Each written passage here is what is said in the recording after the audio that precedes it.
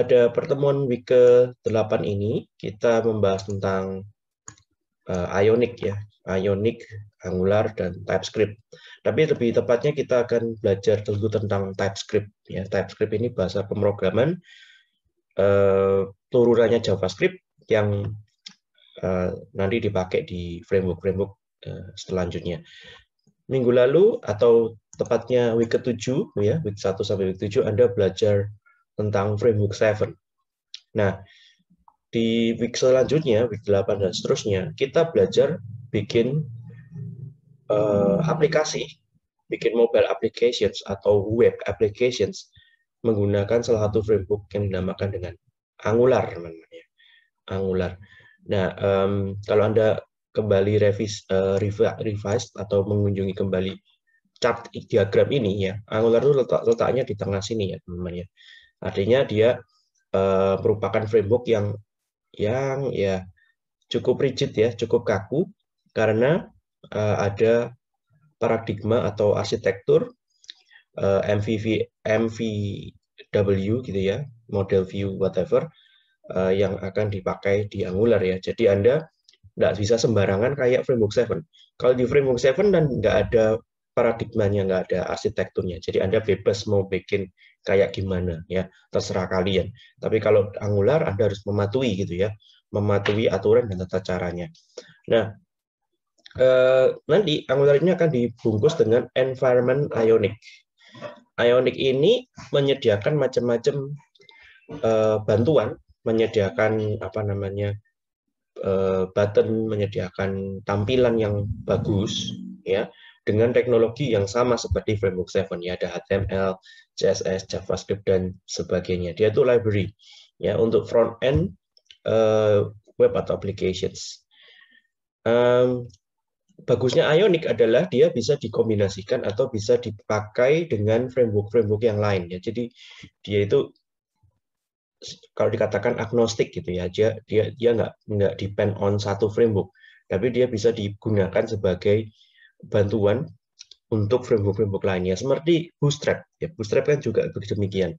Ya eh, Bootstrap bisa dipakai untuk macam-macam bekerja sama dengan macam-macam framework. Termasuk Angular, React, Vue dan bahkan nggak pakai framework sama sekali. Ya uh, Ionic bisa dipakai seperti itu.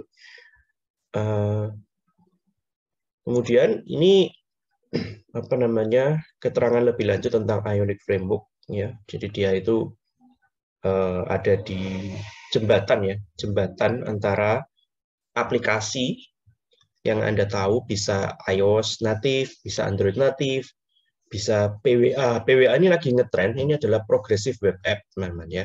Jadi app kayak web gitu ya. Aslinya web begitu ya, aslinya web cuman eh, dimodif sedemikian rupa agar bisa diinstal di HP yang menggunakan teknologi browser mobile terkini ya, kayak Chrome ya, dia mampu melakukan itu. Tapi nggak sesederhana itu ya, nanti kita akan bahas tentang PWA. Desktop ini uh, aplikasi yang desktop ya, untuk artinya berjalan di mobile browsernya desktop. Browsernya desktop maksud saya. Jadi uh, letaknya framework Ionic ini ada di tengah-tengah. Dia sebagai semacam library yang kaya gitu ya, yang bisa dipakai di macam-macam framework yang ada dan dia juga uh, bisa punya cantolan, punya library juga dengan macam-macam library pendamping. Ya, misalkan kapasitor ini dipakai untuk uh, apa bekerja dengan native ya, native uh, environment ya dan Apache Cordova bekerja dengan server side environment. Jadi ini cukup kaya. Artinya apa? Ionic Framework ini bisa dideploy di server secara kayak mirip kayak kita bikin website ya di apa server Apache. Jadi dia juga bisa di deploy di uh, native dalam berupa bentuk aplikasi native. Dan di luar itu ya uh, framework-framework ini bisa terkoneksi dengan third party library atau third party plugin ya AWS, Azure, Firebase, macam-macam Google Map dan kawan-kawan ada di sini. Ya, jadi gambaran besarnya seperti itu. Nah, fokus saya hari ini adalah ngajari tentang bahasa pemrograman baru, yakni TypeScript, teman-teman ya. TypeScript. Nah, jadi fokus saya hari ini adalah ini. Jadi sambil jalan kalian akan install ya. Install uh, Ionic-nya dulu. Oke. Okay? Nah, sekarang teman-teman tolong dibuka uh, Node.js command prompt. Saya stop share dulu. Saya share ulang ya screen-nya sekarang. Nah, bisa kelihatan di layar ya. Jadi Anda install dengan mengetik npm install di Node.js command prompt min global add ionic slash CLI. Nah, itu tinggal di enter. Oke, saya sudah install kemarin ya. Jadi ya nggak apa-apa diinstal ulang. Nah, Anda tinggal enter dan tunggu beberapa saat ya sampai tuntas. Oh iya Pak, saya ingin bertanya Pak. Ya silakan. Ini, di, ini diinstalnya itu di tempat terserah atau tempat yang file tempat bebas. Bebas, bebas, bebas. Uh, yang penting kamu jalanin Node.js command prompt-nya. Ya. Jadi jalanin Node.js command prompt-nya terus install aja di uh, apa? Langsung aja di situ. Ya, karena kita pakai main G, main global, artinya dia bisa untuk user apa pun. Jadi nggak harus usernya Andre ini bisa dipakai user apa pun. Jadi kalau besok-besok Anda login di Windows-nya pakai akun lain bisa juga jalan. Dan dan instalasi Ionic ini dilakukan satu kali, teman-teman ya, satu kali. Ini kayak apa ya? Uh, apa kayak filenya atau programnya. Jadi kita install programnya, program Ionic ke dalam environment npm ya Node.js. Untuk create projectnya itu lain lagi ceritanya. Oke? Okay? Terima kasih, Pak. Oke. Okay. Ada lagi? Maksud saya sudah selesai kah? Teman-teman yang lain? proses instalasinya. Ya, Oke. Okay. Uh, eh, kalau install Ionic itu nggak lama kok, cepat banget. Yang lama itu Angular, teman-teman ya. Nah, nanti kalian terpaksa harus meninggal, gitu ya. Bukan meninggal, maksudnya meninggalkan instalasi Angularnya, ya terpaksa nanti ya. Karena lama banget ya, gede filenya. Kecuali kalau internetnya cepat, kencang gitu ya. Itu uh, masalah. Ya udah. Nah, teman-teman yang bagian sudah lanjut ya. Jadi setelah instalasinya beres, eh, kita coba bikin project baru.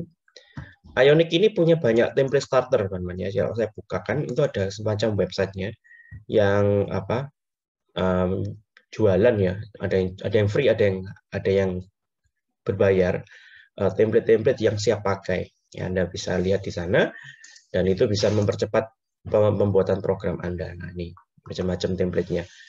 Template untuk online shop, template untuk kesehatan gitu ya, aplikasi kesehatan dan sebagainya.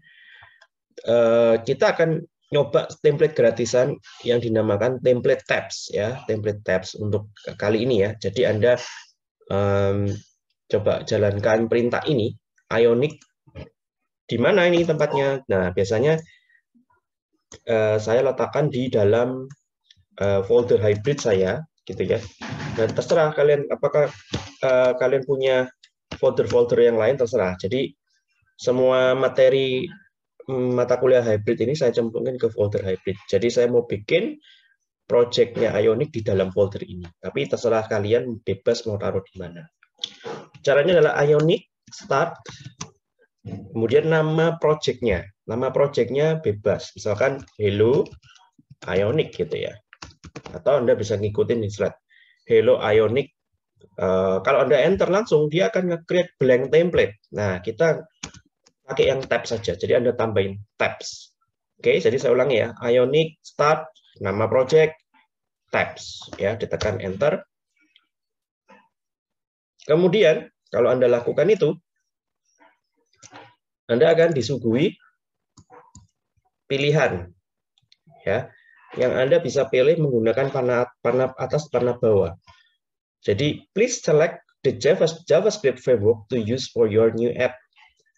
Oke, okay, jadi artinya uh, environment-nya Ionic, tapi tetap harus punya uh, framework yang dipakai juga ya. Di sini kita pakai yang Angular teman-teman ya. Jadi Anda pilih Angular, tekan Enter. Oke.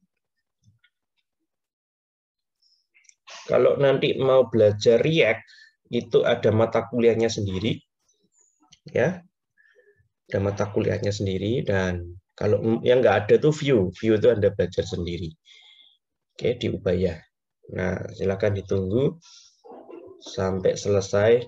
Apabila gagal install karena internetnya putus, ini ini saya saya highlight ya. Karena internetnya putus dan error dan uh, kalian coba ulang-ulang lagi errornya sama. Nah, ini coba dijalankan perintah ini ya. npm catch clear force yang akan uh, mengclearkan residu-residu ya uh, instalasi yang sudah terjadi sebelumnya. Jadi kayak diulangin, dihapus kembali cache-nya, dikosongin kemudian diulangin kembali. Oke, silakan dijalankan dulu create project Angularnya. Oke, nah perhatikan teman-teman. Ada satu saat di mana uh, instalasinya stop dan dia nanyakan beberapa pertanyaan begitu ya. Misalkan join the Ionic community ya nanti Anda akan dapatkan pertanyaan ini. Create free Ionic account, ya Anda jawab no aja ya. Kecuali Anda kepingin uh, bikin akunnya Ionic, ya ini kayak semacam forum begitu teman-teman. Dan Anda bisa masuk ke sana, bertanya, lihat-lihat apa postingannya orang-orang ya. Jadi saya tidak lakukan itu. Free Ionic account, no. Ya, selesai. Nah, seperti itu teman-teman ya. Oke. Okay. Kalau sudah selesai, nanti Anda bisa lihat ada apa uh, folder baru di tempat yang Anda buat tadi. Ya, misalkan tadi saya buat di hybrid, Anda bisa, bisa lihat ada folder baru namanya Hello Ionic ya, tadi saya bikin di sini. Kalau Anda double klik, tentu isinya berbeda dengan Framework 7 ya. Isinya jauh berbeda dengan framework 7. Nanti saya akan jelaskan yang ini, teman-teman ya. Jadi jangan khawatir. Ya. Jadi uh, tolong dijalankan sampai tuntas. Habis ini kita akan coba uh, play ya, kita coba mainkan projectnya ke browser tampilannya seperti bagaimana begitu ya. Oke, silakan dicoba dibuat dulu uh, ini Ionicnya sambil ditunggu. Bagi yang bagi yang sudah selesai, anda bisa mencoba menjalankan langsung ya, tapi jangan lupa ini perintahnya Anda masuk dulu ke dalam project foldernya, baru panggil Ionic Serve. Oke, Ionic Serve. Nah, silakan dicoba. Jadi kita masuk ke dalam foldernya, cd Hello Ionic, sehingga kita masuk ke dalam folder Hello Ionic, kemudian Ionic Serve.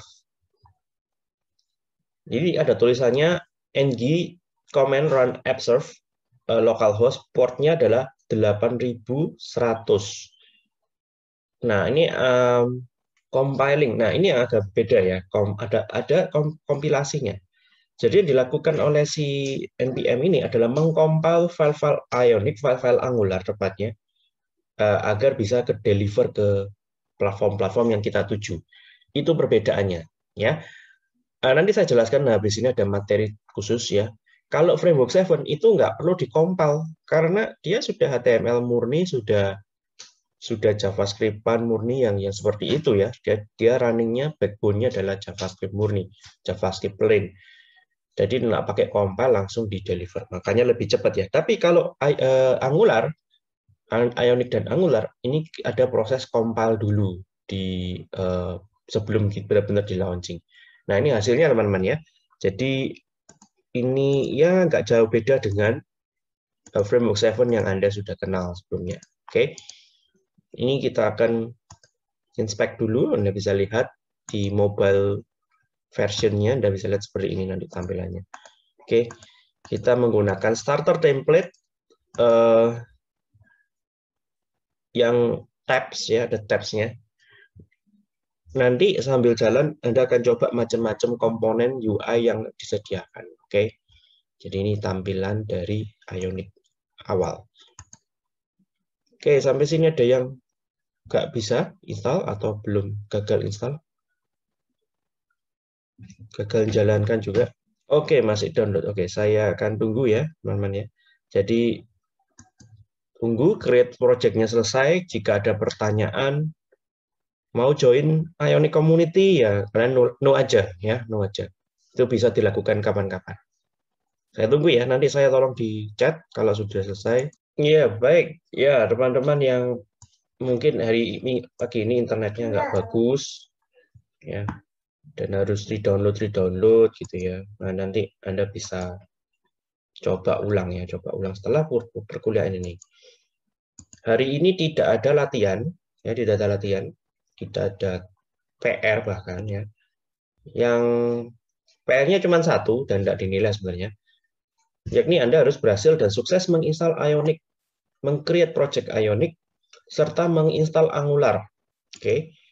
Ya jadi kalau misalkan internetnya enggak lagi enggak bagus kondisinya, Anda bisa coba lagi ya nanti nanti dan kalau misalkan Anda sudah install ulang seperti Daniel ya sudah download ulang dan masih gagal file gitu ya dan error ada errornya. Errornya sama terus ya coba uh, npm get clear force ini dijalankan ada, ada yang sudah selesai teman-teman saya sudah pak sudah ya ada berapa orang ancungkan jempol kalau sudah selesai jempolnya zoom maksudnya oke Erik Oh, banyak ternyata. 12 orang nih. Sudah selesai. Uh, Felix, Satria, ya. Oke, yang yang masih berputat dengan instalasi, ya silakan di ini ya, dicoba ulang, dicoba lagi ya. Nah, saya akan lanjutkan dulu, teman-teman. Uh, bagaimana agar dapat dicoba di HP Android, gitu ya? dulu itu ada aplikasi uh, semacam namanya Ionic Dev App, tapi sudah almarhum, sudah pensiun. Ya semacam Phone Gap. Phone Gap sendiri juga sudah pensiun. Jadi uh, apa namanya Phone Gap atau apa uh, yang punyanya Adobe ya, Phone Gap punyanya Adobe. Ada semacam aplikasi yang bisa diinstal di HP kita. Nah, asalkan HP kita itu satu jaringan dengan servernya NPM, maka kita bisa langsung compile dan jalankan langsung aplikasinya di HP. Nah, tapi solusi ini sudah nggak ada semua, teman-teman. Ya. Sudah pensiun semua. Jadi, kita pakai solusi yang lain ya. Kita gunakan bantuan kapasitor. Jadi, kapasitor ini semacam bridging, semacam aplikasi yang menjembatani, menjembatani antara uh, hybrid framework yang kita punya dengan project natif ya project natif. Dalam hal ini nanti kapasitor bisa dipakai untuk membuat projectnya Android Studio, ya, projectnya Android Studio dan kita bisa gunakan Android Studio untuk menjalankan app kita. Ya agak agak payah juga sebenarnya, ya teman-teman ya. Tapi ini solusi yang banyak dipakai oleh uh, developer. Nah, Oke, setelah selesai tes di browser, kita akan tes di HP sebagai dengan perantara kapasitor. Pertama matikan dulu servernya. Jadi kalau anda nggak nggak tahu cara matikannya, itu gampang ya teman-teman. Anda tinggal tekan Ctrl C, terminate batch job, yes, ya seperti ini. Oke ya, jadi itu Ctrl C itu gunanya untuk me mematikan server Node.js kita. Oke. Nah, kemudian kita bisa jalankan perintah npx cap init ya dengan app name-nya tadi apa serta eh, nama apa ini nama nama perusahaannya gitu ya anggap nama unique ID-nya app ID gitu ya. Biasanya ada com kayak nama domain di balik oke jadi anda jalankan itu. Uh, ada pertanyaan di chat. Jika itu ada pertanyaan share anonymous usage data, nah itu kalau di yes, maka setiap kali kamu do something with ini, secara diam-diam dia ngirim informasinya ke server ya, ke servernya. Itu terserah sih, bebas itu nggak nggak ngefek ke uh, framework kita. Cuman kalau di yes, berarti ada data yang dikirimkan dari tempat kamu ke server mereka. Ya, untuk apa? Untuk statistik saja. Ya, boleh dino, boleh di yes itu. Oke.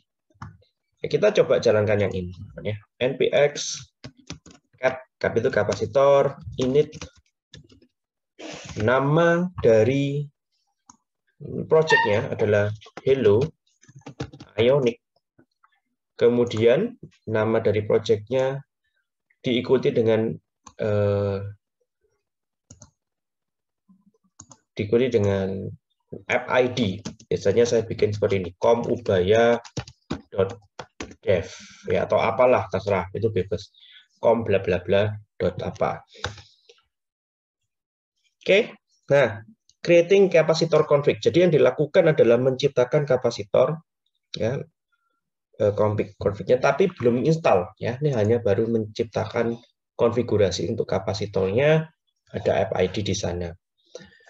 Kemudian di tahapan selanjutnya adalah Anda bisa menjalankan Ionic build untuk mengkompil project Ionic. Ya, jadi untuk membuild project Ionic itu perintahnya adalah Ionic build. Loh Pak, yang tadi kok bisa langsung Ionic serve begitu ya? Waktu kita coba di test browser, nggak perlu build-buildan kok bisa jalan.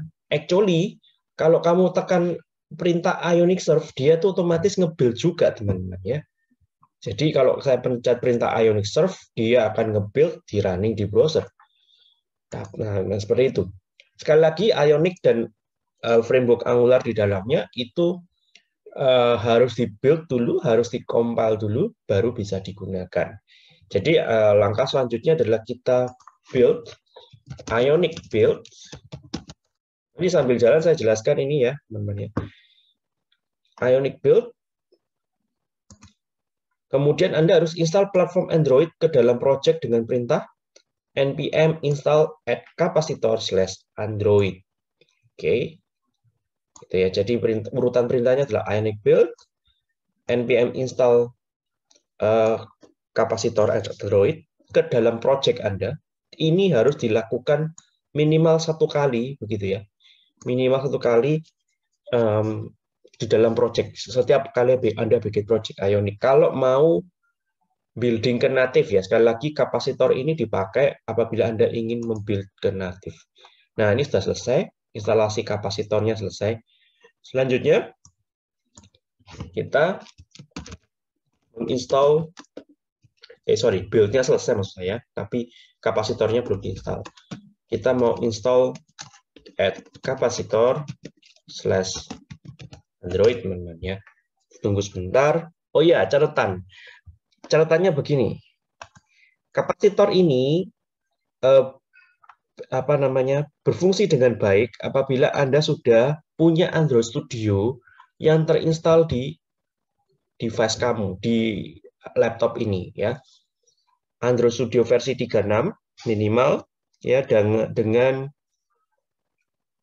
uh, oh nggak pakai dengan sih ya, pokoknya intinya ada Android Studio minimal itu dan dia kapasitor bisa mengcreate project untuk untuk Android Anda.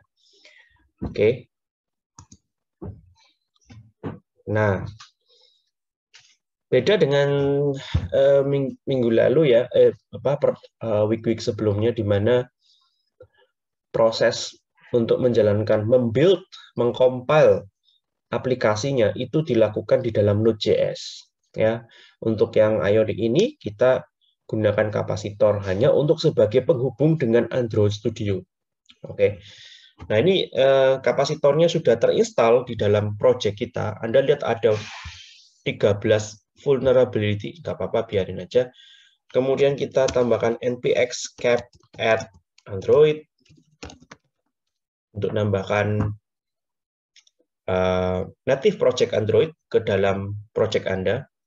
Dan untuk menjalankan Android Studio-nya, itu ditekan npx cap open Android. Ini hanya untuk menjalankan membuka Android Studio. Nah, Anda bisa lihat di layar. Android Studio saya terbuka dan otomatis membuka project yang Ionic yang kita build barusan ya.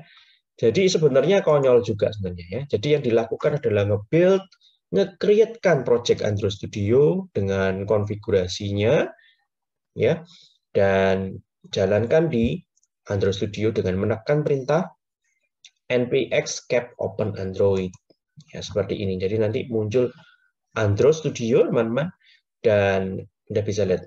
Tapi ini Anda nggak usah lakukan sekarang, nanti Anda lakukan aja setelah semuanya beres. Oke, semua uh, paling nggak minimal ioniknya beres instalasi airnya beres, kapasitornya Anda bisa letak, lakukan nanti-nanti.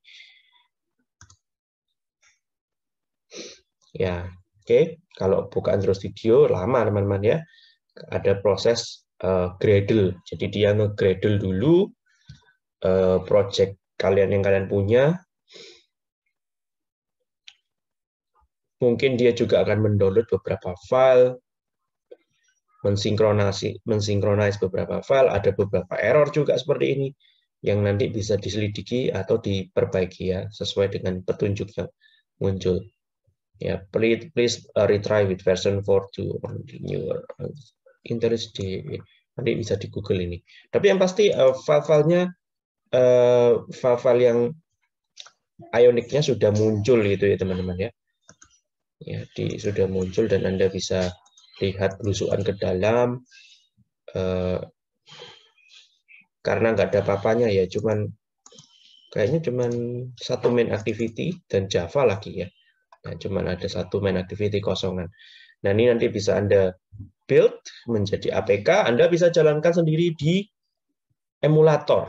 Itu ya solusi dari kapasitor. Nah ini tidak, tidak saya lanjutkan dulu. Oke. Okay. nah jadi artinya kita pakai emulatornya Android Studio untuk merunning app kita, app hybrid kita. Oke, teman-teman, uh, pastikan project Ionic-nya selesai karena kita akan lanjut ke Angular. Ya, saya jelaskan sedikit tentang Angular, teorinya dulu ya. Angular itu adalah framework JavaScript yang spesialisasinya dia itu untuk membuat single page applications yang reaktif ya single page applications itu artinya webnya hanya ada satu HTML dan dia secara reaktif meload halaman-halaman lain ke dalam indeks HTML itu. Oke, jadi dia ngeload secara uh, apa uh, reaktif. Jadi uh, mirip kayak kita ngeload data dari jQuery ya, dari JSON begitu ya dari JSON kita ambil dari server kemudian kita tampilkan secara dynamic di layar. Nah, single page uh, application seperti itu. Oke, okay. dengan dengan model ini Angular cocok banget untuk bikin website yang behaviornya menyerupai mobile apps natif ya dan good things-nya di-maintain oleh Google teman-teman. Tidak seperti framework 7 yang lebih fluid, Angular JS ini lebih rigid karena dia mengadopsi paradigma MVW model view whatever.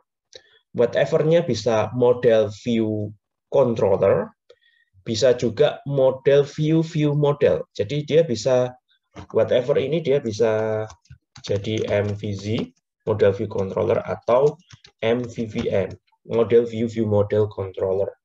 Oke, okay. MVC ini eh, apa namanya arsitektur yang memisahkan program Anda menjadi tiga bagian. Model, view, controller. Model urusannya dengan database, view urusannya dengan tampilan, dengan apa CSS-nya, ya, warnanya gitu ya. Urusannya pokoknya tampilan.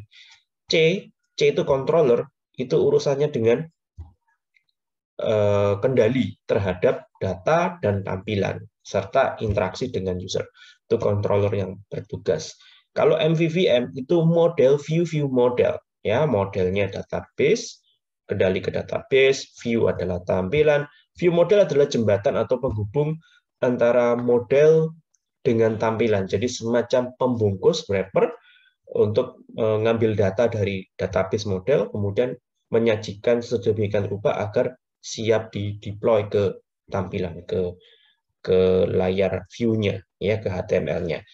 Uh, mungkin Anda akan agak bingung di sini, tapi uh, memang ini materinya utamanya Angular. Kita akan pelajari paradigma ini, ya. Jadi uh, untuk Angular JS memang bebas ya model view whatever artinya Anda nggak harus terpatok oh harus MVC harus MVVM bebas. Yang MVC base itu contohnya framework code igniter ya kalau Anda pernah dengar. Kalau MVVM ini saya ajarin di mata kuliah Advanced Native ya salah satunya menggunakan paradigma MVVM. Jadi mirip-mirip seperti itu teman-teman. Nah,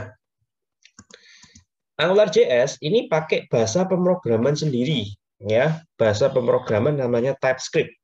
Oke, singkat cerita, kenapa kok kita belajar TypeScript? Ya, karena AngularJS pakai TypeScript. Yang kedua, JavaScript itu kelemahan terbesarnya adalah dia tidak support OOP, teman-teman. Ya, nggak ada nggak ada object orientednya. Kita nggak bisa create kelas di sana. Ya, tidak ada strong type checkingnya, bukan tidak ada.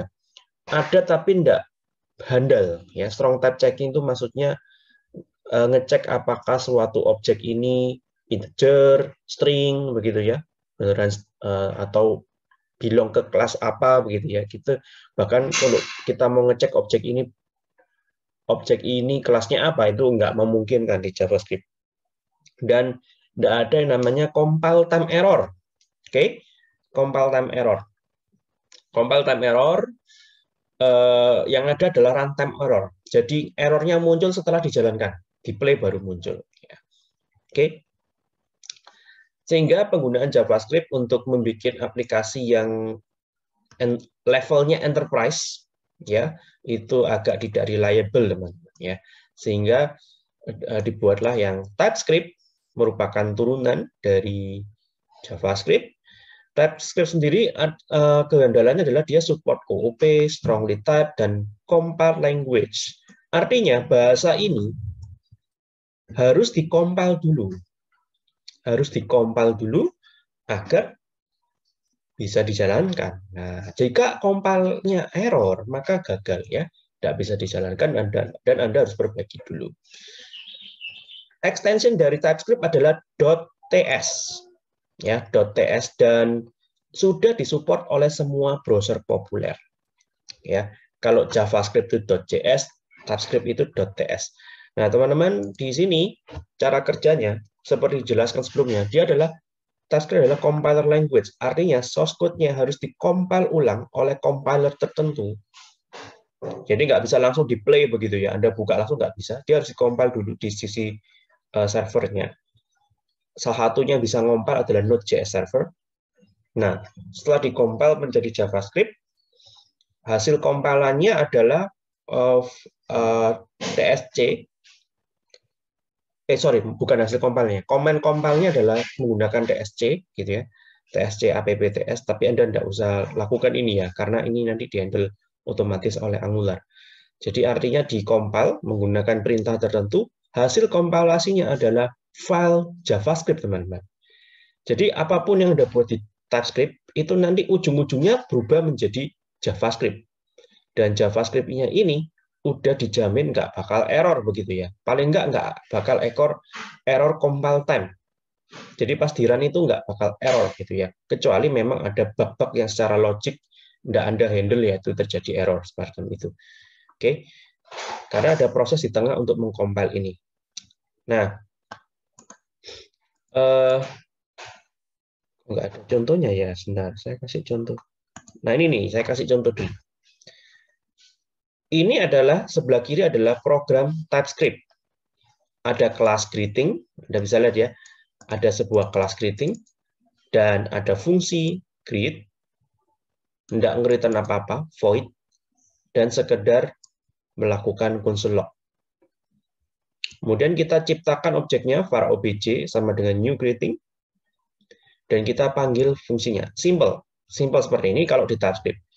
Kalau di JavaScript, karena dia nggak support OOP, maka programnya jadi lebih panjang dan ada eh, apa perintah yang yang nggak yang aneh ya, yang yang yang apa namanya semacam dipaksakan ya. Pertama, karena JavaScript tidak punya tidak punya kelas, maka dia bikin sejenis function ya, sejenis function yang function greeting ini. Kemudian ada prototype.greet function, dan return greeting dan obj new greeting sisanya sama. Tapi penciptaan kelasnya ini agak aneh dan lebih panjang begitu ya dan dipaksakan. Ya, prototype ini untuk mengakali kelas yang ada di TypeScript ya.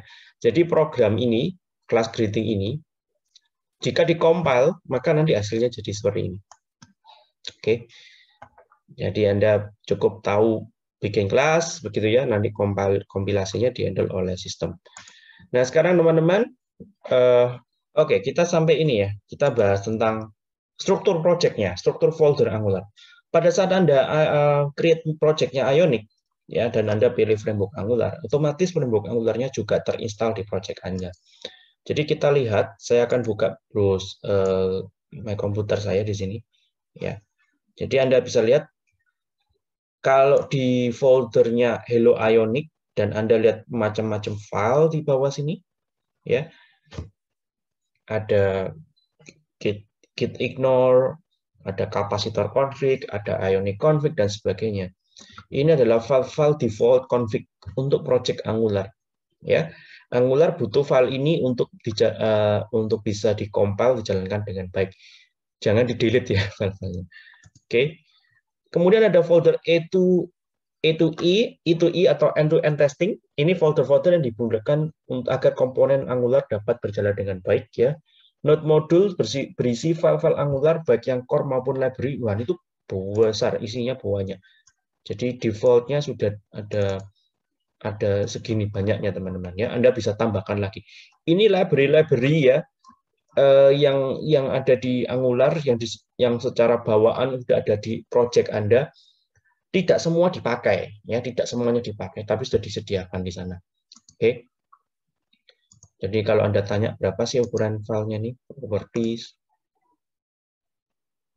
nah itu dia ya jadi sekali create project Angular itu bisa ratusan mega teman-teman cuman tadi ini besar gara-gara saya pakai kapasitor. Harusnya nggak sebesar ini. Oke. Dan itu ya. Kemudian eh, selanjutnya lagi adalah hmm, SRC. Ya, SRC adalah folder file-file utama Angular. Ya, di sini sebagian besar waktu kita habiskan untuk bikin web kita. Ya, jadi kalau anda buka SRC source, ya, nanti ada hmm, macam-macam file di sana dan kalau anda lihat TS TS ini ya ini adalah file-file TypeScript TypeScript semua oke okay? dan ada sebuah sebuah indeks HTML di dalamnya ya jadi membuktikan bahwa ini adalah SPA jadi satu indeks HTML dan sisanya adalah TypeScript app folder ini adalah halaman lain yang uh, yang digunakan untuk menyimpan controller ya dan model itu nanti disimpan di. Asset folder ini untuk menyimpan resource gambar kita. Cuman karena kita pakai project tabs, tampilannya isi app-nya ini mungkin berbeda. Ada tab 1, tab 2, tab 3, dan seterusnya. Tapi nanti minggu depan kita akan bikin yang template blank ya, yang benar-benar kosong gitu ya, nggak ada tambahan-tambahannya. Oke, kemudian Nah, materi tentang Angular akan dilanjutkan di week 9 menggunakan template blank ya. Jadi eh, nanti kita lanjutkan tentang Angular kembali template blank sebelum perkuliahan dimulai. Nanti saya nanti akan saya japri kalian di grup Hangout eh, untuk membuat template project blank. Caranya seperti apa? Supaya nanti pada saat kuliah week 9 itu sudah ready ya. Karena sekali lagi instalasi Ionic Plus Angular ini makan waktu banyak. Ya, Anda bisa lihat ya kapasitas atau uh, ukuran file yang diciptakan itu cukup besar. Loh Pak, bisa nggak kemudian kemudian kalau saya bikin project copy paste begitu ya, copy paste dari template project boleh bisa.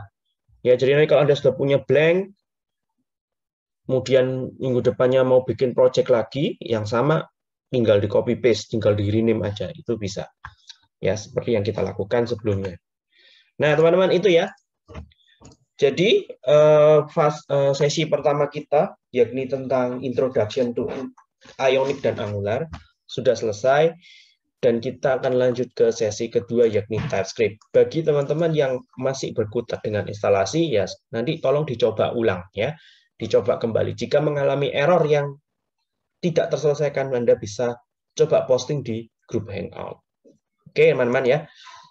Nah, baik ya. Nah, di sesi kedua ini secara khusus saya ingin ngajarin Anda membiasakan diri dengan uh, bahasa pemrograman TypeScript Ya, kalau Anda sudah terbiasa dengan bahasa pemrograman modern, harusnya ini nggak masalah besar. Ya, kalau Anda sudah terbiasa dengan Kotlin dan Python ya, itu harusnya enggak terlalu deal ya, enggak terlalu masalah besar.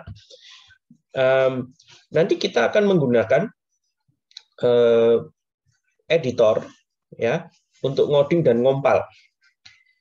Untuk editornya Anda bisa pakai Visual Studio Code atau pakai Sublime. Jika Anda pakai Visual Studio Code, nanti tolong ikutin tutorial yang ada di web ini. ya.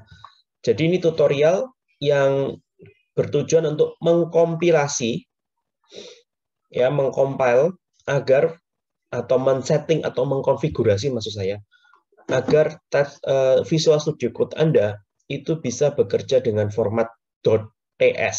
Ini Anda ikutin anda ikutin apa petunjuknya, termasuk sintaks highlighting yang ini yang penting ya, sintaks highlighting, termasuk IntelliSense ini penting banget ya, karena kalau nggak ada ini semua eh, apa jadi lama ngodingnya kan kita nggak ngerti error atau enggaknya. Jadi Anda ikutin eh, nanti di sini kalau Anda pakai Visual Studio Code agar Anda bisa memprogram TypeScript menggunakan Visual Studio Code. Oke, okay? Dan untuk hari ini, kita akan gunakan online tool, TypeScript uh, .org.play. Ini saya kopas dulu di chat, silakan Anda kunjungin. Buka dulu ya. TypeScript lang.org.play. Ini uh, compile compile online, maksudnya code uh, testing testing untuk mengetes bahasa TypeScript secara online dan bisa kita run langsung lewat browser. Oke, kita akan coba di situ. Nah, teman-teman, kita mulai aja variabel. Bagaimana cara bikin variabel di TypeScript? Ini Anda nah, saya akan copy paste ke sini. Oke. Jadi variabel di TypeScript punya tipe data macam-macam.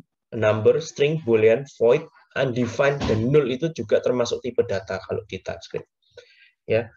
Contoh deklarasi variabel TypeScript adalah sebagai berikut. Jadi Anda bisa gunakan let atau var ya dan itu ada perbedaannya let dan var uh, nanti saya coba cek ya kemudian diikuti dengan nama variabelnya apa kemudian diikuti dengan titik dua tipe datanya apa ya contoh ya yang orange ini tipe datanya string number 7500 tipe datanya number sedangkan yang teks ini tipe datanya apa double mestinya ya. Tapi di sini di TypeScript nggak ada istilahnya float dan float dan double itu nggak ada. Jadi jadikan satu yakni number. Jadi di TypeScript number itu include integer, float sama double. Jadi satu namanya menjadi number. Itu harus diingat-ingat. Oke, jadi Anda nggak nggak ada namanya integer, float, double nggak ada. Oke. Jadi ini kedua ini sama-sama number. Kemudian Anda bisa ciptakan variabel yang yang apa nggak ada tipe datanya, ya total misalkan sama dengan price ditambah teks dikali price dan kalau mem kalau tidak disertakan tipe datanya maka TypeScript akan men menebak kira-kira total ini tipenya apa. Dengan cara dia akan lihat elemen yang dia pakai uh, argumen yang dipakai untuk ini ya untuk menyelesaikan uh, perkalian atau rumus selanjutnya ya. Misalkan price ini adalah number text dan price juga number maka dia asumsikan otomatis di casting menjadi number. Total adalah number oke nah kita coba lihat di TypeScript kita coba run teman-teman keluarlah fruit orange dan totalnya 8625 hasil perkalian dari ini Kenapa muncul alert? Ya karena saya pakai perintah alert. Oke. Okay? Seperti itu teman-teman ya. Jadi um, itu tentang tentang variable. Nah, variable scope scope ya. Variable scope ini Anda harus pahami bahwa sebuah variabel itu punya ruang ruang lingkup hidupnya sendiri. Jadi kalau dia di declare di atas kayak global number sama dengan 12, maka karena dia di declare di atas di luar kelas bahkan maka variabel ini bisa diakses di dalam kelas. Oke. Okay? Jadi global 6 ini sifatnya global, uh, variabel global. Jadi kalau saya coba uh, alert atau panggil di dalam, maka global 6-nya akan nongol. Sedangkan yang 6 val 13 ini adalah variabel yang hanya scope-nya hanya berada di dalam kelas itu sendiri. Jadi jangan coba akses 6 val-nya ini di luar kelas. Oke. Okay. Static variable ini adalah variabel statik yang dirinya belong punyanya sebuah kelas tertentu dan dia juga bisa diakses di luar kelas dengan cara memanggil nama kelasnya. Nanti saya tunjukkan habis ini. Uh, dan ini adalah sebuah fungsi. Saya tap dulu. Nah, ini local num local number ini 14 ini hanya belong ke fungsi store number. Ya, hanya bisa diakses di dalam store number. Mari kita coba. Uh, saya akan kopas ke sini. Nah, Misalkan teman-teman di sini di dalam store number-nya ini kita mau console.log global 6. Seperti itu ya. Kemudian kita ciptakan objeknya var n numbers sama dengan new numbers. Oh ya, satu hal lagi, titik koma ini nggak wajib ya teman-teman ada kan biasanya kita ngoding ada titik komanya. Ini nggak wajib boleh dihapus. Ya. Jadi ini nggak wajib ada anda bisa hapus. Numbers kemudian n dot or 6 kita panggil fungsinya teman-teman ya. Jadi ada class numbers di dalamnya ada fungsi store 6 kita run. Muncul log 12 ya log 12 ini angkanya global 6 Nah, ini membuktikan membuktikan bahwa variabel yang kita define secara global itu bisa diakses di dalam kelas sekalipun, bahkan di dalam fungsinya sekalipun. Sekarang kita coba mengakses um, di luar kelas ini console log uh, misalkan 6 file ini, 6 filenya kita akses. Ya, koma. Dan bahkan sebelum saya run, dia sudah ngomong error nih ya cannot find name numfile. Nggak ada numfile. Lo ada ini di sini. Ya, tapi saya nggak punya akses ke sana, begitu ya. Karena itu punyanya kelas number. Jadi kalau mau akses numfile, maka kamu harus bikin objeknya number dulu, baru bisa akses. Contoh, kita sudah punya objek namanya n dot. Seperti ini, teman-teman. Oke, kita coba run. Baru numfile-nya nongol ya 13. Ya, jadi kita akses objeknya baru dipanggil 6 volt. Tapi kalau Anda ujuk-ujuk panggil 6 volt itu tidak boleh, nggak bisa. Karena 6 volt itu punyanya kelas numbers. Bagaimana dengan s volt? s volt ini, static volt variable 10 ini, bagaimana? Apakah kita bisa panggil? Ya, muncul error lagi di sini. Loh, ini juga static volt ini juga punyanya kelas number, tapi kok error? Nah, kila hover. Um, properties volt does not exist on type number. Ya. Did you mean to access the static number numbers as volt instead? Nah, ini. Jadi as volt static ini um, belong ke dalam kelas numbers, tapi dia tidak punyanya spesifik objek tertentu. Dengan kata lain, s ini bukan punyanya n, tapi dia lebih kayak semacam uh, data global punyanya kelas number, di mana semua objek kelas number itu uh, tidak punya SPOL, jadi yang bisa akses SPOL ini adalah kelasnya itu sendiri. Ya, jadi kalau mau mau menampilkan SPOL, maka anda panggil kelasnya, nama kelasnya numbers.sfol. Numbers.sfol dan hasilnya 10 ya ini namanya static static field ya Static field itu macam-macam fungsinya ya. Misalkan Anda kepingin uh, tahu berapa jumlah objek yang pakai numbers ini, nah Anda bisa bikin static quantity begitu ya. Kemudian setelah ada objek baru diciptakan, kita tambahkan kuantitinya dengan satu dan seterusnya. Kalau di Java namanya static, kalau di C saya lupa namanya apa. Kalau di Kotlin itu nggak ada static teman-teman. Adanya apa itu? lupa saya. Ada bang penggantinya statik ya. Nanti saya coba cek ya. Jadi setiap bahasa pemrograman itu pasti ada statiknya. Oke. Nah, itu ya teman-teman tentang variable scope. Bagaimana dengan operator tidak jauh berbeda? Anda sudah tahu ini ada macam-macam operator secara aritmetik, eh, relasional, aritmetik plus minus kali bagi plus plus min min modulo persen relasional lebih kecil, lebih besar, lebih kecil sama dengan lebih besar sama dengan double sama dengan tidak sama dengan logical ya dan dan atau tidak atau negasi bitwise ini jarang kita pakai. Assignment ini untuk mengassign angka plus sama dengan kali sama dengan bagi sama dengan dengan dirinya sendiri. Oke. Okay. Type of ini adalah dipakai untuk operator untuk mengetahui tipe data sebuah variabel instance of ini untuk mengetahui objek ini punyanya kelas siapa. Ya, itu. Jadi itu yang bisa dibahas. Nah, kita coba yang ini. Saya akan kopas dulu ke TypeScript sambil saya terangkan. Oke. Okay. Nama. Eh, satu dua tiga lima ini dia akan nebak ini number. Oke, okay, price number 7500 quantity member boolean true ya. Jadi kalau Anda pengen tahu nama ini apa sih gitu ya. Nama ini tipenya apa? Ini jelas-jelas bukan string ya. Nama ini bukan string karena dia tidak pakai petik dua. Jadi ini akan dianggap sebagai number. If type of nama bukan string, alert invalid name, else if membernya nggak boolean, maka alert ini. Jika else if ini number, maka alert ini. Jadi kalau mem bukan member, kalau bukan member ya harganya nggak ada diskon, begitu ya.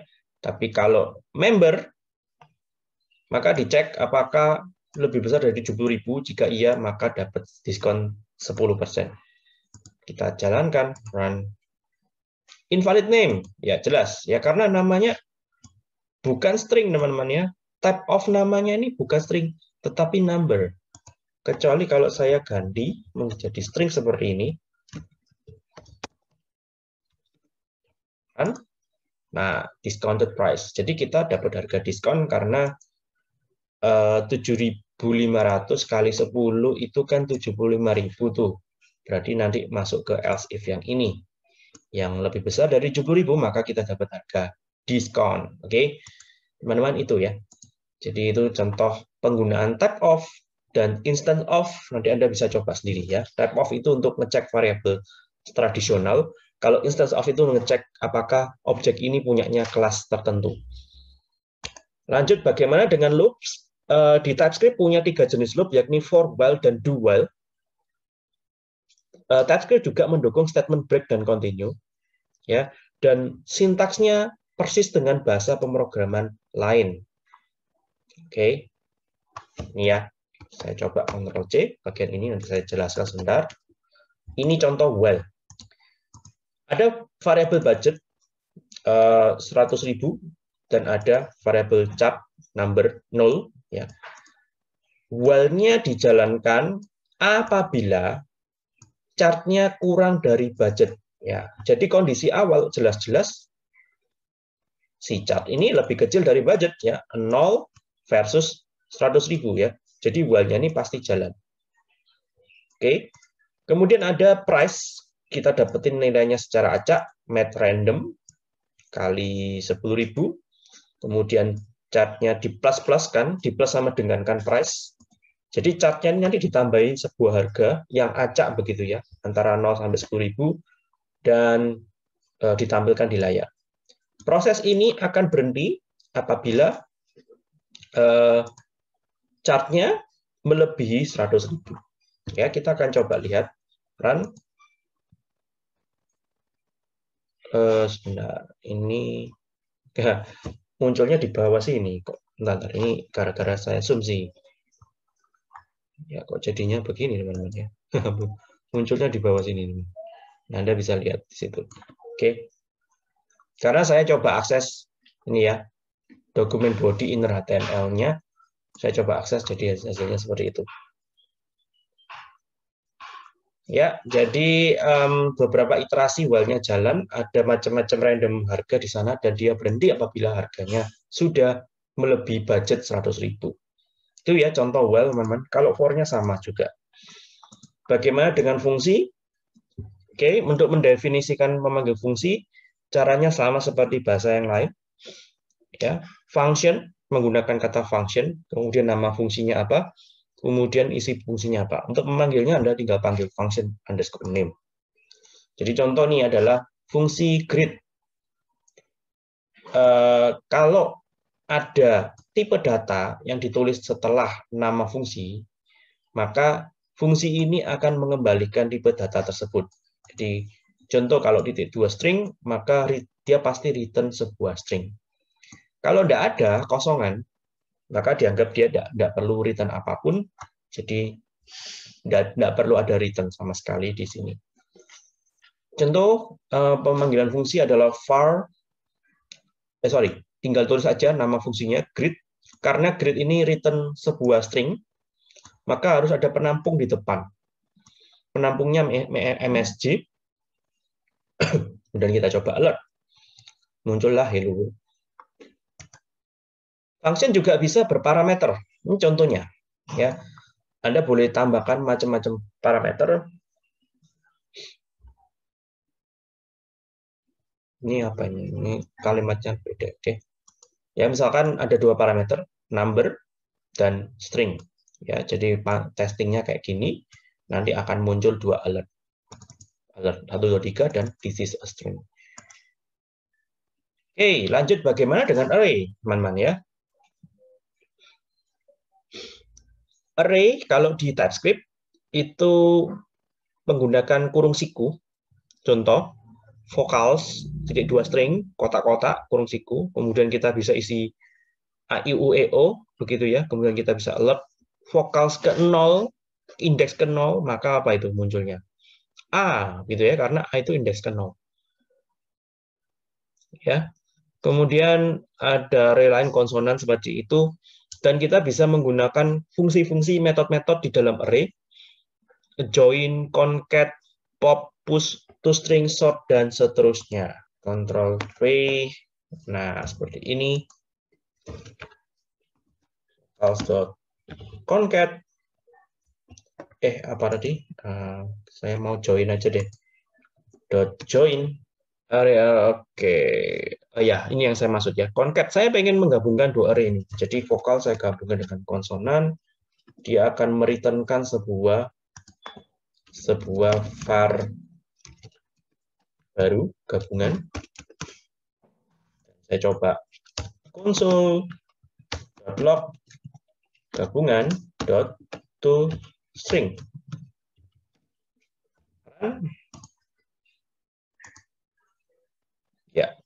Jadi hasilnya kalau saya concat vokal array vokal saya concat dengan konsonan, hasilnya adalah a i u e o b c d f g digabung. Jadi konsonannya ini dicemplungin ke dalam array baru namanya array gabungan dan tampilannya seperti ini. Jadi kombinasi dua array. Itu contoh aja sih penggunaan fungsi array. Nanti Anda coba yang lain. Contoh array, array dan loop. Uh, Untuk ngeloop ini Anda bisa lihat menggunakan in ya. Ya, ini semacam for each sih kalau saya bilang. Ini sejenis for each. Kalau for biasa ya normal aja sebenarnya. Kalau model for each begini Anda bisa lihat, misalkan kopas. Oke. Jadi ada sebuah array 1 2 3 4 4 dimensi 4 dimensi 4 isinya ada 4 aja. Kemudian ada sebuah for yang menelusuri masing-masing indeks dari array ini. For j in nums, maka kita alert ya per indeksnya. Jadi kalau kita run akan muncul 1001, 1002, 1003, 1004. Ada 4 lot. Oke. Nah, seperti itu. Ini for each biasa untuk menelusuri isi array. Nah, kita sekarang masuk ke bagian OOP, teman-teman ya. Jadi ini salah satu kelebihan dari TypeScript adalah dia mampu bikin kelas. Nggak kayak JavaScript yang maksa. Kelasnya itu maksa, teman. Jadi Anda bisa lihat di sini. Eh, diawali dengan definisi nama kelasnya, yakni kelas, kemudian nama kelas. Untuk field-nya, yang perlu diperhatikan adalah Anda tidak perlu mencantumkan keyword var pada pembuatan field atau data membernya. Jadi contoh ini, saya mau di kelas car ini ada field engine, ada field uh, tank capacity, ada field RPM, macam-macam lah ya. Dan itu Anda tidak perlu pakai var. Constructor itu di-define dengan keyword constructor kemudian Anda eh, ikuti dengan parameternya. Oke, jadi konstruktornya cuma satu, yang parameternya engine string, dan saya ingin mengubah engine string di sini sesuai dengan parameter di sini. Caranya adalah this.engine sama dengan engine. Kenapa ada this? Karena supaya nggak bingung, parameternya namanya engine, dan field Anda juga namanya engine, ya kan bingung ya, ini engine-nya siapa? Sehingga ada disk di depan yang merefer ke disk yang engine yang ini. Oke, kemudian kita bisa bikin fungsi di string, display dan sebagainya seperti ini. Oke, kalau mau create object ya tadi sudah sempat didemokan satu ya seperti ini var obj kemudian diikuti dengan konstruktornya. Jadi konstruktornya meminta sebuah string, ya kita provide string di situ. Kita siapkan stringnya. Kemudian ditampilkan di layar. Mari kita coba run yang ini dulu. Ya, engine is super sweet. Jadi artinya objeknya berhasil diciptakan. Selain kelas dan Anda create objek dari kelas itu, kita bisa menciptakan yang namanya anonymous class. Ya, anonymous object. Artinya objek yang nggak punya kelas begitu ya. Ini biasanya cara cepat untuk nge-create objek tanpa kelas-kelasan begitu kan. Ini sering sekali dipakai di JavaScript biasanya. Dan objek memiliki pasangan key value. Dan dia bukan instant dari kelas. Jadi objek ini berdiri sendiri. Perbedaannya adalah dia si objek ini nggak punya fungsi teman-teman ya. Karena isinya hanya deklarasi data-data property field dan value-nya aja. Jadi dia nggak benar-benar punya fungsi di dalamnya. Mari kita coba demokan yang ini. var person sama dengan kurung kurawal buka, kurung kurawal tutup. Oke. Jadi kalau ada nama variabel diikuti sama dengan lalu ada kurung kurawal, nah ini dia pasti bikin objek, teman-teman. Cuman bukan turunan dari kelas, bukan objek yang di new dari sebuah kelas. Jadi kalau ditanya, person ini nama kelasnya apa? Nggak ada. Ya, nama kelas personnya nggak ada. Dia tidak tidak punya kelas. Lah, person ini sendiri apa? Nah, ini nama objeknya, teman-teman. Nama objeknya person. Tapi kelasnya apa? Nggak jelas, nggak ada. Field-nya apa? Atau properti ya istilahnya. Propertinya apa? Ada dua nih, first name dan last name. Cara pakainya atau cara memanggil fieldnya, tinggal nama objeknya di dot nama propertinya. Person dot first name, person dot last name. Run, maka kita bisa lihat hasilnya. teman-teman. Itu ya. Jadi ini uh, akan beberapa kali kita pakai cara seperti ini. Export keyword uh, TypeScript adalah bahasa yang modular, teman-teman. Karena artinya apa? Ada kadang-kadang kita ketika program nanti di Angular, kita butuh program tertentu dari luar, maka kita ekspor masuk. Ya, kita import maksud saya, sorry, bukan diekspor. Nah, um, kita bisa menentukan bagian mana yang diekspor, bisa diimport oleh tempat lain, dan mana yang nggak boleh diekspor. Oke, sehingga ada yang namanya keyboard export yang bisa kita apply ke kelas atau interface agar kelas tersebut dapat dipakai oleh orang lain, dapat dipakai oleh TypeScript yang lain. Saya kasih contoh seperti ini. Ini nggak bisa kita demokan di TypeScript. Sebentar ya, tunggu ya. Tunggu sebentar. Iya. Oke, okay, sorry. Jadi untuk yang ekspor ini uh, kita mesti pakai playground yang lain ya. Misalkan ke codebase.io ya, karena butuh mungkin beberapa file. Tapi kita perhatikan dulu aja sementara. Ya, jadi misalkan saya punya dua file, person.ts dan test.ts. Oke. Okay. Di person.ts ini saya punya sebuah kelas, kelas person. Kelas person ini gak bakal bisa dipakai di tempat lain selama kita tidak menambahkan keyword export. Keyword export ini untuk mengizinkan agar kelas person ini boleh digunakan di tempat lain. Oke? Okay? Oke ya, jelas ya itu ya. Jadi eh, misalkan di person TS kita kasih export, maka di file lain, di tempat lain, misalkan test.ts, kita bisa mengimport person ini dengan cara import uh, dalam kurung nama kelasnya apa person from pet-nya pet menuju nama filenya ya dot slash person dengan asumsi uh, kelas per, eh, sorry file person.ts ini berada di file di folder yang sama dengan test.ts oke okay.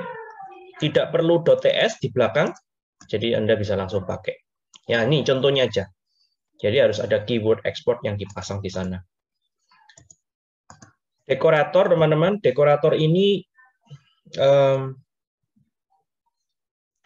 uh, sintaks yang digunakan untuk memodifikasi isi sebuah fungsi. Ya, tanpa harus memodifikasi original kelasnya. Jadi ada ada beberapa fungsi yang ketika kita import ya ketika kita import kita ingin ubah-ubah begitu ya kita ingin ubah-ubah tanpa harus mengubah file originalnya jadi dalamannya mau kita ubah. Tapi saya nggak mau diturunkan ya. Jadi misalkan saya punya saya kepengen pakai fungsinya orang tapi nggak saya nggak mau kelas saya ini turunan dari kelas orang tersebut ya.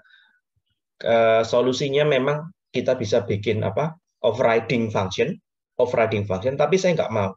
Jadi solusi menggunakan fungsinya orang, lalu kita modif oprek dalamnya, tanpa jadi turunan dari kelas tersebut adalah dekorator. Oke. Nah, untuk bikin dekorator, ya di, ada berbagai macam dekorator di Angular. Ya, contohnya komponen. Komponen ini contoh satu dekorator aja, ada banyak di sini. Uh, pertama untuk menggunakan dekorator ini kita import di atas. Ya, import komponen from add angular core. Jadi kita akses library-nya Angular komponen nih. Uh, lalu di kelas komponen ini dimodif beberapa propertinya. Jadi nggak harus fungsi teman-teman ya, bisa juga kelas. Oke, jadi anggaplah ini sebuah kelas besar, kelas baru, tapi saya nggak kepingin turunan dari komponen. Saya nggak ingin bikin kelas baru yang extend dari komponen. Nah, solusinya adalah menggunakan dekorator. Tulisannya adalah add komponen dalam kurung, kurung kurawal, lalu Anda bisa modif berbagai macam uh, properti di dalamnya. Kita bisa modif. Deklarator sekali lagi, dekorator maksud saya, sekali lagi berbeda dengan inheritance. Kalau inheritance, turunan, berarti kan kita harus extend ya, dari kelas komponen kita extend menjadi kelas baru, anaknya, lalu bisa kita operate dalamnya. Nah, ini saya nggak kepingin, karena itu akan merepotkan banyak file yang dibuat, jadi pakai dekorator ini cara yang paling cepat. Di Angular nanti Anda akan menjumpai berbagai macam dekorator yang lain, ya, tapi nanti kita sambil jalan. Nah, untuk latihan, eh, kita coba ya eh, di TypeScript Play ORG Play, ikuti step-step berikut ini. Kita ingin membuat dua buah textbox dan sebuah button. Nah, ini saya nggak tahu apakah bisa bikin di sini. Oke, run ya enggak tahu kenapa kok munculnya di bawah sini ya teman-teman tambah ini. Oke tambah. Ya jadi yang pertama adalah uh, create element button. Ini uh, cara cara panjangnya gitu ya, cara panjangnya. Dokumen create element. Tapi kalau Anda pakai jQuery akan lebih cepat. Ya, dokumen create element menciptakan sebuah button, buttonnya isinya di uh, labelnya maksud saya, label buttonnya dirubah menjadi tambah seperti yang dilihat dan atributnya ID-nya di set button tambah. Set atribut ID button tambah. Kemudian kita masukkan button ini ke dalam HTML yang Anda lihat sekarang. Kemudian lanjutannya adalah bikin text box. Copy lagi, teman-teman. Bawah sini, saya run. Nah, oh, sorry, sorry. Harus reload ya. Sebentar, saya reload dulu ya. Saya reload dulu. Run. Ya, jadi nanti ada sebuah tombol, ada text box, eh, eh input text maksudnya ya, input text, tipenya number, hanya sedisi angka, dan atributnya di set ID txt2. Kalau buttonnya tadi button tambah, kalau inputan teksnya txt2. Jadi hasilnya nanti ada sebuah tombol dan sebuah inputan. Lalu selanjutnya adalah jika buttonnya diklik, eh sorry sorry, ini Oh ya, ini kurang ya. Jadi text box-nya ada dua teman-teman ya, text box satu dan text box dua. Jadi kita buat lagi text box satu, Ctrl C, Ctrl V di atas, tapi ini kita rename jadi text box satu, text box satu, text box satu, ini txt1 dan ini text box 1. Jadi kita punya sebuah button, kita punya dua buah text box, kita run, ya uh, kayaknya di append ya, jadi saya reload dulu. Atau Anda jangan pakai append, mungkin di awal ini Anda reset dokumen bodinya boleh. Nah, kita run, nanti ada dua buah ini ya, dua buah text box ya, text box 1, text box 2, dan isinya akan kita tambahkan, sehingga kita langkah terakhir adalah kita nambahkan event button click. Button dot on click function ya. Uh, ini nggak bisa dipakai. Oke deh oh iya benar Franciscus seperti itu ya Thank you ya. Jadi ini uh, castingnya salah, nggak kayak di slide ya. Saya benerin yang di slide. Thank you ya, Franciscus.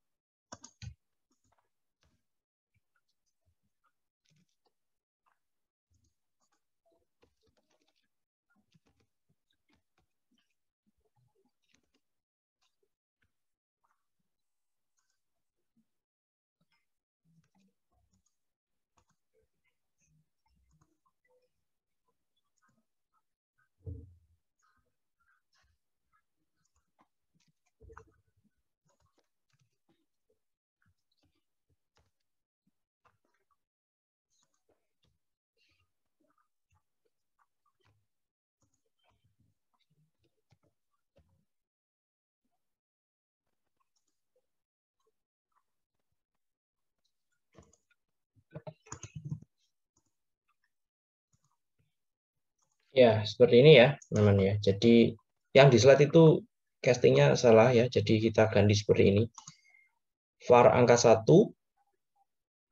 uh, any, kemudian dokumen get element by id txt1 kita convert, kita auto casting ya. Kita manual casting bukan auto casting menjadi HTML input element. Dan HTML input element itu punya property value untuk dapetin angka yang ada di sini. Jadi kalau saya tambah, saya plus gini, muncul alert 14. Dan Anda tinggal kopas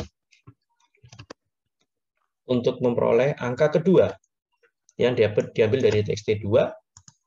Tentu saja kita tinggal menjumlahkan seperti ini. Oke, teman-teman, saya coba reload. Oh, hilang. Harus tiran dulu ternyata. Oke, saya ulangin ya. Angka 2, txt 2, angka 1, tambah angka 2, kita run, ya misalkan 4 ditambah 6, hasilnya, oh tunggu tunggu, ini di-convert dulu ke integer mestinya ya, sebentar, saya cek dulu. Ya, di-convert dulu menjadi integer. Cara paling cepat adalah dikalikan dengan angka 1, seperti itu. Oke, jadi ada uh, uh, kalau di JavaScript ada parse to integernya. Kita akan coba langsung loadkan lagi. Ya, karena kalau ditambahkan begitu dianggap uh, string ya. Oke, misalkan 4 dan 6 tambah menjadi 10 ya. Jadi angka 1 ini kita convert jadi integer, paling cepat dikalikan dengan sebuah integer. Angka 2 juga sama, idem karena dua-duanya integer, maka ketika kita plus maka dianggap number tambah number. Oke.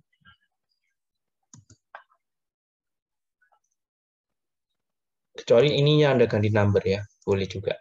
Nah, itu ya teman-teman ya. Jadi ini uh, salah satu program menggunakan TypeScript ya, menggunakan TypeScript. Nanti sambil jalan kita akan uh, pakai Visual Studio Code untuk merogram TypeScript dan kita akan oprek Visual Studio Code-nya supaya uh, bisa nampilkan, nampilkan highlight syntax, uh, syntax error, dan sebagainya ya. Jadi supaya programnya dengan TypeScript lebih enak. Oke, itu ya teman-teman. Bagian yang akhir adalah tentang FAQ.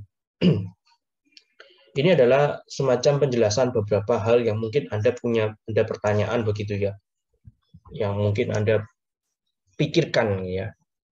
Nah, ini saya akan coba beberapa jawab beberapa FAQ ya.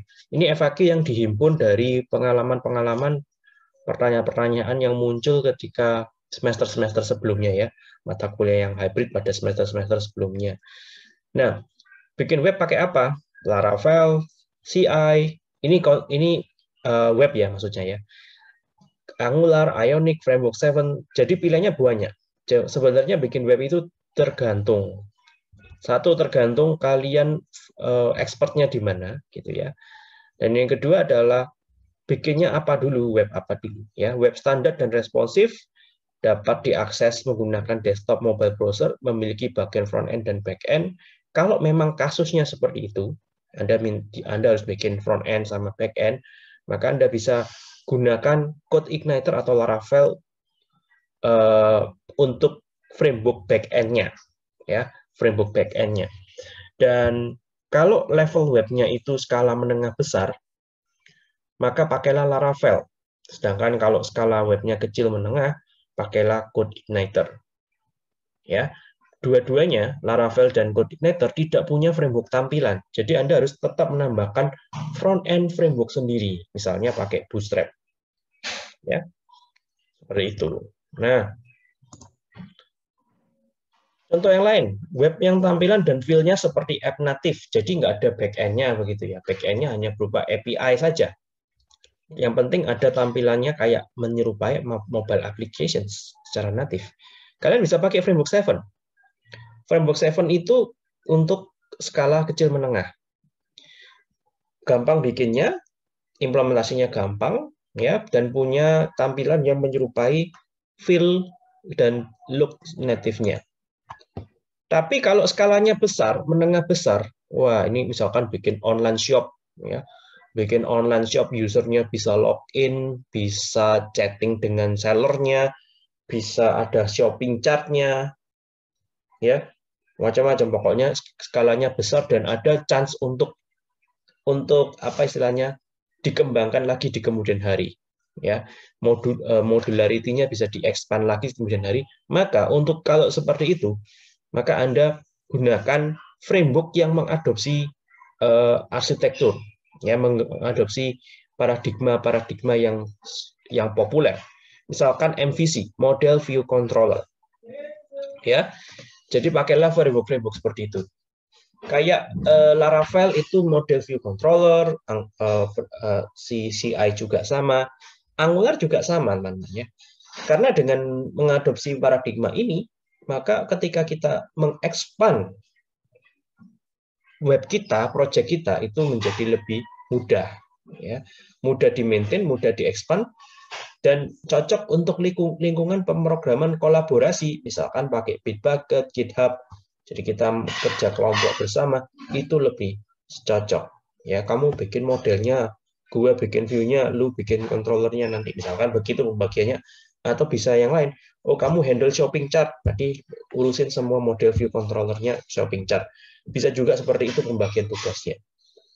Akan tetapi Angular tidak punya front end framework, makanya itu kita di semester ini langsung environment-nya kita pakai Ionic, teman-teman. Kalau semester-semester sebelumnya kita belajar Angular dulu, baru di ending belajar Ionic. Nah, ini kita nggak lakukan itu, kita langsung start dengan Ionic dengan kombinasi Angular ya tidak menutup kemungkinan nanti di mata kuliah lain Anda belajar Ionic combine dengan React ya misalkan seperti itu uh, tapi bagaimana jika ingin membuat web, app yang filenya natif tapi untuk skala menengah besar dan sudah include front end framework ya Anda bisa ya tadi sudah saya jelaskan pakai Ionic yang pakai frameworknya Angular ya jadi tampilannya sudah bagus dan menggunakan Angular yang punya MVC juga. Angular versus Framework 7 bagus mana? Nah, ini. Jadi tadi saya sudah jawab juga ya. Framework 7 itu untuk skala kecil, di mana uh, programmer tidak perlu memikirkan pembagian controller view. Pokoknya terserah kamu ngodingnya, bebas ngoding dengan cara apa pun. Ya. Dan tentunya hal ini tidak baik untuk kolaborasi ya, untuk kerja kelompok karena bikin bingung ya. Programnya soalnya bisa ditaruh di mana aja gitu kan nggak hanya di APPJS bisa Anda letakkan di mana-mana. Dan stylenya uh, penempatannya bisa terserah programmernya. Nah, di satu sisi Angular ini framework yang kaku, rigid. Jadi Anda harus follow, follow paradigmanya mereka seperti Code Igniter. Ya, uh, cocok untuk develop aplikasi menengah besar dan cocok untuk lingkungan kolaboratif. Oke, okay. CI, Laravel, dan Angular sama-sama MVC bagus mana? Jadi CI, Laravel, dan Angular ini sama-sama menggunakan paradigma MVC. Walaupun uh, saya baca Angular yang terbaru ini sudah nggak MVC lagi, jadi MVW, model view whatever, wis bisa model model view view model atau model view controller. Nah, karena uh, eh, CI dan Laravel dan Angular ini beda dunia teman-teman ya. CI dan Laravel ini jalannya di sisi server. Dia itu web uh, server based program program uh, framework, server based program uh, ser, uh, server based framework. Sedangkan Angular ini jalannya di front end.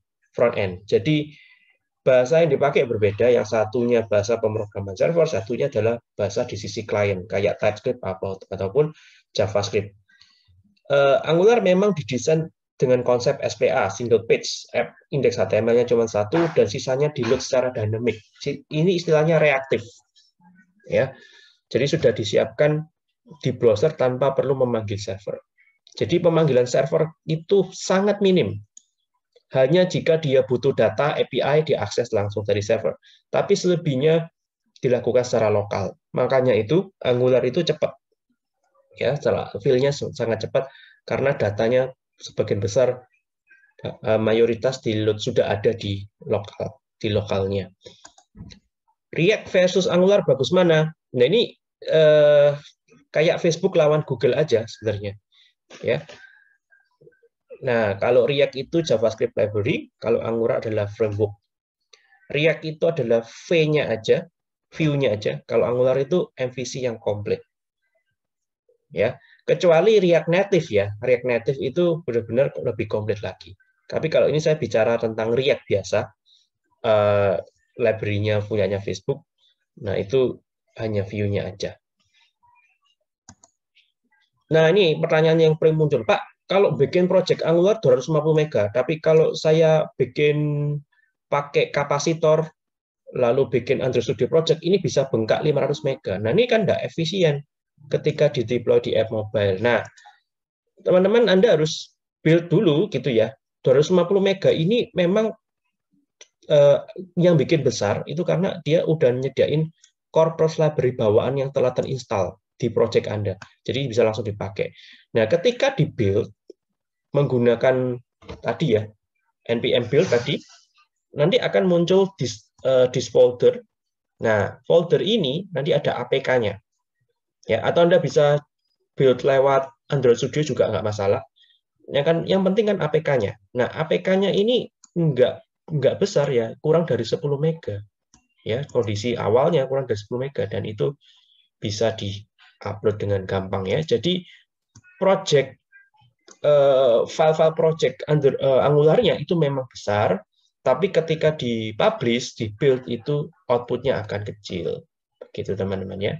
Dan angka 10 mega ini akan naik naik naik terus tergantung dari isi aplikasi kamu ada banyak gambarnya atau kalian pakai macam-macam library atau gimana itu akan semakin membengkak di sana.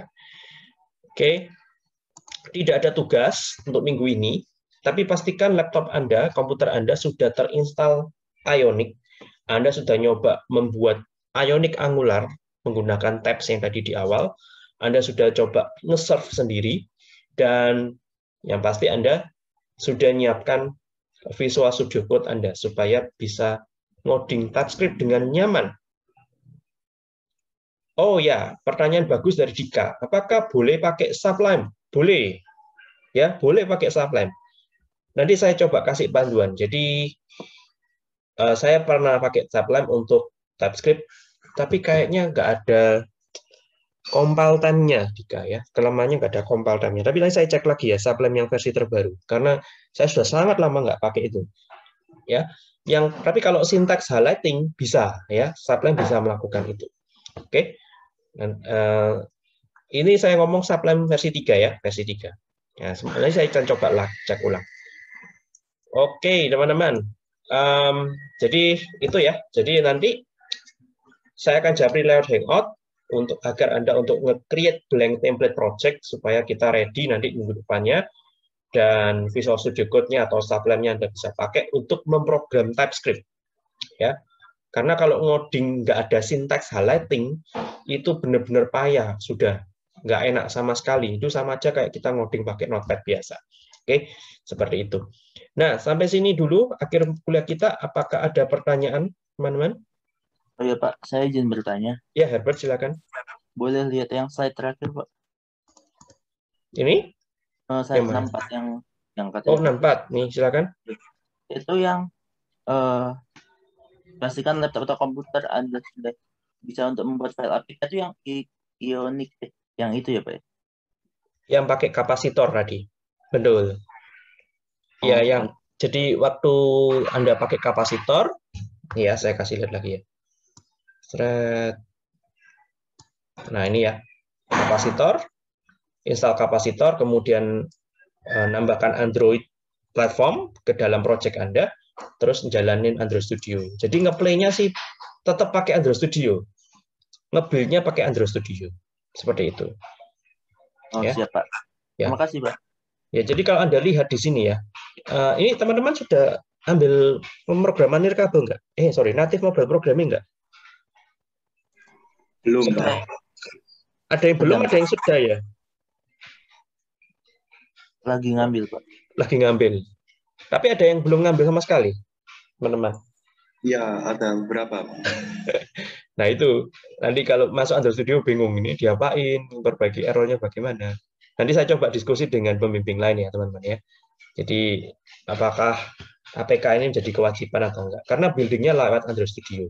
Oke, Ya, bagi yang sudah ngambil, tentunya familiar banget ya dengan tampilan ini ya. Jadi ada main activity, ya kan? Ada single layout. Jadi yang dilakukan oleh Angular itu sebenarnya dia create main activity satu, dia punya satu layout, dan layoutnya ini apa? Mungkin Anda bisa tebak. Kira-kira komponennya apa? Yang belajar native? Kira-kira komponen layoutnya ini apa?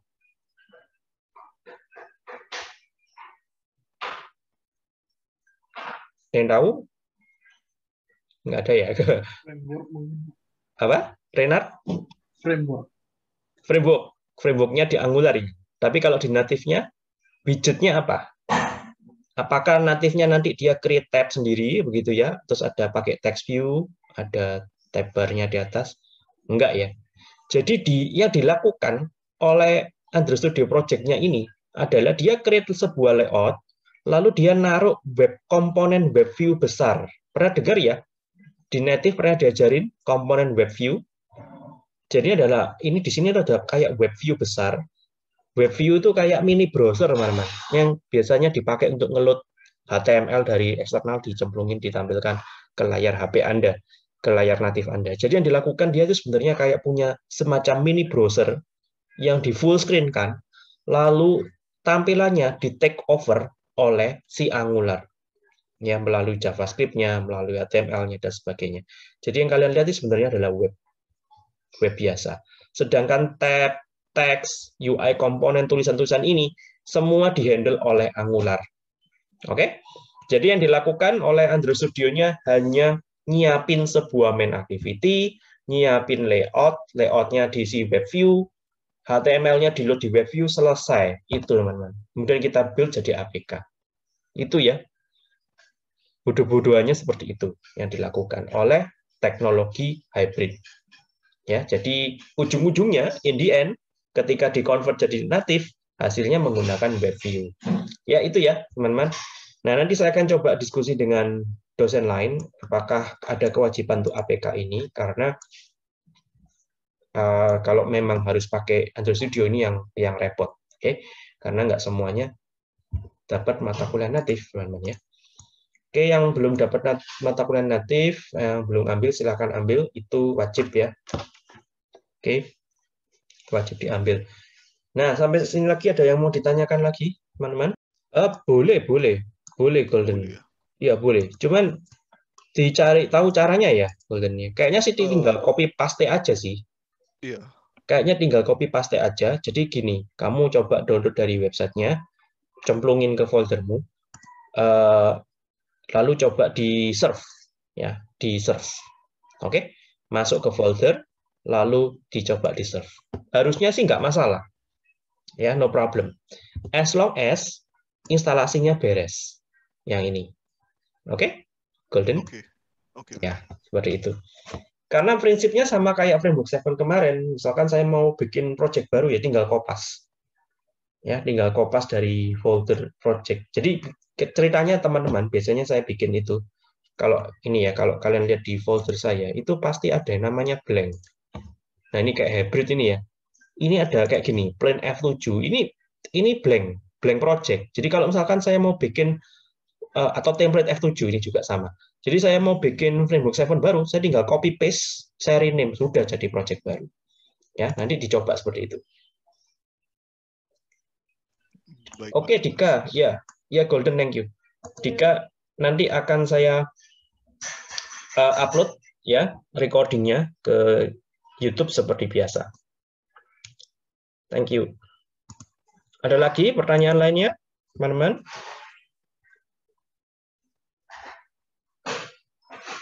Silakan ada waktu satu SKS ini, silakan Anda selesaikan paling enggak instalasi Ionic, kemudian kap kapasitornya bisa jalan dan seterusnya. Oke, itu yang Anda eh, lakukan nanti di sisa satu SKS. Oke? Baik, teman-teman, kalau tidak ada pertanyaan susulan, eh, saya akhiri pertemuan kita eh, hari ini. Eh, tunggu videonya, nanti akan saya upload ke ULS. Terima kasih dan selamat pagi semua. Selamat pagi. Terima kasih, Pak. Oke. Terima kasih, Pak. Oke, bye-bye. Saya end meeting ya.